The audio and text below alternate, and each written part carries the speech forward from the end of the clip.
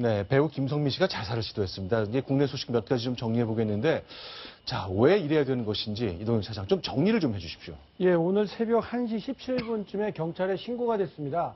어, 배우 김성민 씨 집에서 부부싸움이 심하게 일어났기 때문에 네. 그 아들이 직접 경찰에 신고를 한 겁니다. 아. 그래서 실제 경찰이 출동을 했고요. 네. 그런데 아내 이모 씨는 아들과 함께 내가 지금 친척 집에 갈 거다. 그러니까 돌아가 달라라고 경찰에 이야기를 했고 이 네. 말을 듣고 경찰은 곧 철수를 했고요. 하지만 30분쯤 뒤인 어, 오늘 한- 한 새벽 1시 50분쯤에 네, 네. 다시 신고가 들어갔습니다. 남편이 극단적 행동을 할 것 같다. 빨리 와달라. 경찰대로 다시 와달라. 네. 그래서 다시 왔습니다. 그랬는데 네. 이미 어, 스스로 목숨을 끊으려고 하는 행동이 발생이 돼서 급하게 병원으로 이송했지만 아직까지도 의식을 찾지 못하고 있다고 합니다.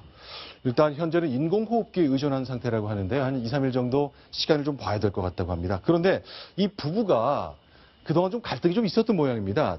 1년 전, 작년이죠. 아내가 탄원서까지 쓰면서 그 마약 문제 관련해서 좀 해결하려고 시도했던 거군요. 그렇습니다. 그 김성민 씨가 잘 아시는 것처럼 이 마약류를 투- 투약을 했다가 경찰에 네. 몇 차례 구속되는 일이 있었는데 네. 그때마다 아내가 네네. 남편이 이렇게 된 것은 내 잘못도 크다. 네. 부부싸움으로 자살을 시도한 게 2014년에도 있었다라고 하면서 아, 내 잘못도 있으니까 남편을 좀 선처해 주세요. 라는 탄원서를 쓸 정도였다고 합니다. 네. 근데 이제 자살. 글쎄요. 실제로 그 김성민 씨 아내가요. 마약 혐의로 이제 두 번 기소됐잖아요. 그때 인터뷰를 통해서 내가 잘못해서 이런 일이 생긴 거다라고 말한 얘기가 있었습니다. 와이스타 뉴스와 인터뷰인데요. 같이 한번 들어보겠습니다. 지금 내 마음이 엄청 복잡해졌어. 정말 힘들어요. 김성민 씨 엄청 후회하고 반성 많이 하고 있어요. 다 제가 좀 잘못해서 이런 일이 생기지 않았나 생각도 들고 지금은 눈 떠 있는 동안은 그 사람한테 편지 쓰고 계속 기도하고 하고 있습니다. 그냥 저희가 보기에는요. 그냥 인기 많이 얻고 방송에서 굉장히 활약을 많이 했기 때문에 뭐 여러 가지 문제가 없을 거로 알았습니다. 구장차장. 네. 이 김성민 씨의 삶이라는 게 굉장히 극적인 장면들이 굉장히 많군요. 그렇습니다.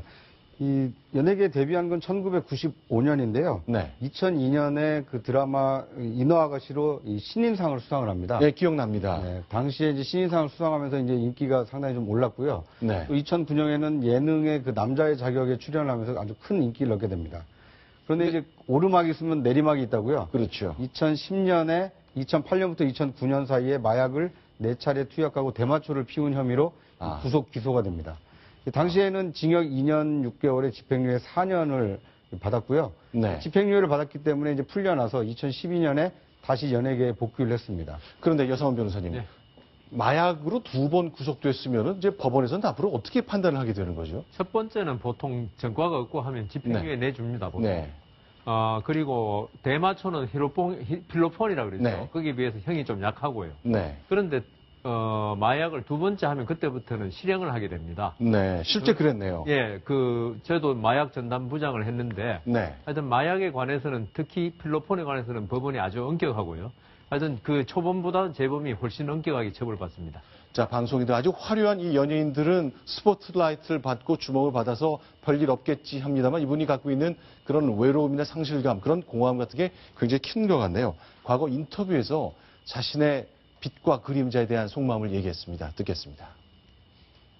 그때도 겉으로는 웃고 있었지만 속으로는 힘든 일이 분명히 있었었거든요. 사람들과 어울려서 그걸 고민을 해결하고 고민을 얘기하고 할 방법이 아닌 혼자서 웅크리고 혼자 살수 있는 방법들을 찾다 보니까 계속 나락으로 어두운 곳으로 제 스스로 선택했던 것 같아요. 뭐 힘든 시기에는 가족이 있었고 아무래도 누나 많이 고생했거든요. 탄원서를 받으러 다니는 일서부터 많이 고생을 했는데 그래서인지 더 애틋해요. 누나 많이 웃게 해주려고요. 자, 이 다른 여- 연예계 소식 하나 좀 보겠습니다. 김혜수 씨가 최근에 새롭게 영화를 찍어서 주목을 많이 받았는데 어떤 일이 좀 있었습니까? 네.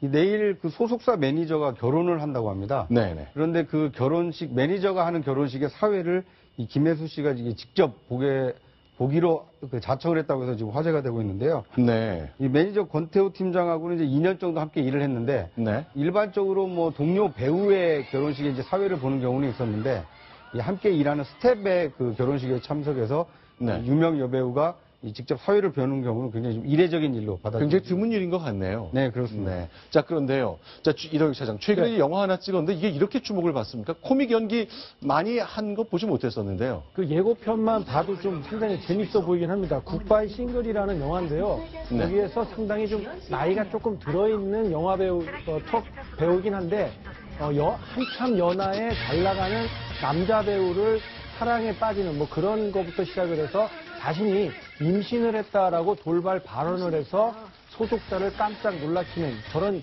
장면까지 아주 코믹하게 처리를 해서 주목을 받을 것 같습니다. 알겠습니다. 자, 저 장면인데 어쨌건 자, 대스타가 갖고 있는 그 상실감, 김성민 씨의 그 자살한 시도에서도 봤고 김혜수 씨 자기 매니저를 위해 직접 어, 사회까지 보겠다는 것 그 내용에 대해서 좀 정리를 해봤습니다.